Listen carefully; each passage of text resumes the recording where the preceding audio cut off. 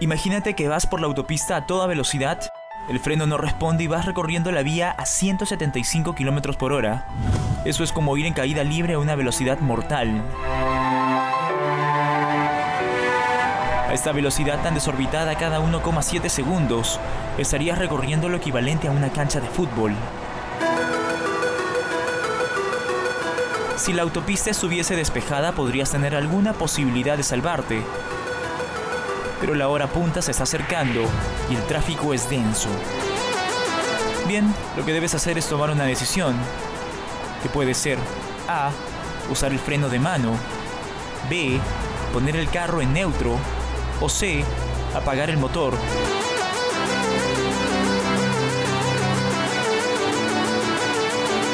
¿Qué harías? Tienes el acelerador atascado y el freno no responde. Así que una de las opciones más viables puede parecerte tirar del freno de mano y meterte al medio para reducir la velocidad.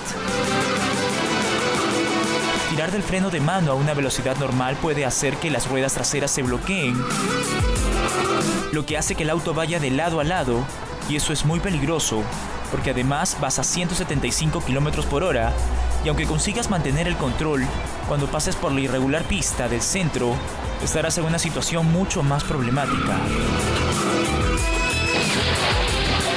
La conductora del auto no tiene elección y tiene que dar un volantazo para entrar en la mediana y así evitar el tráfico. Estoy adelantando a muchos coches. Estoy muy asustada. Ha tenido suerte, mucha suerte, porque la gravilla suelta en las superficies irregulares suelen provocar que los conductores pierdan el control y el carro salga dando vueltas de campana. Así que si has elegido tirar del freno de mano y meterte en el arcén, habrías cometido un error mortal.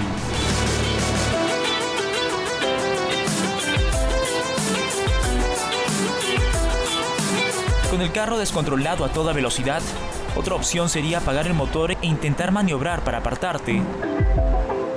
¿Pero sería la mejor opción?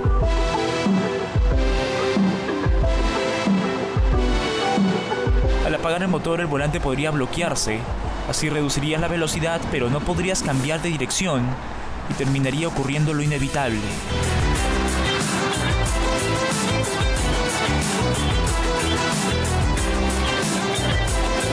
Elegido apagar el motor, estarías sellando tu destino.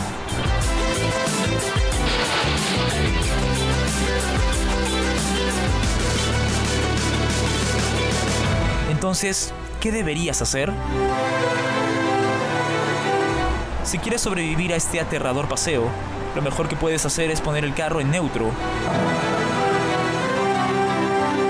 Al desconectar la transmisión estarías desconectando los engranajes que van del motor a los ejes. Y aunque el motor seguiría funcionando sin control, al poner el auto en neutro, estarías evitando que siguiera acelerando el carro. Ejerce una presión constante a los frenos y el auto irá perdiendo velocidad progresivamente, puesto que el motor ya no hace funcionar el eje de transmisión, lo que te permitirá terminar con esta experiencia mortal.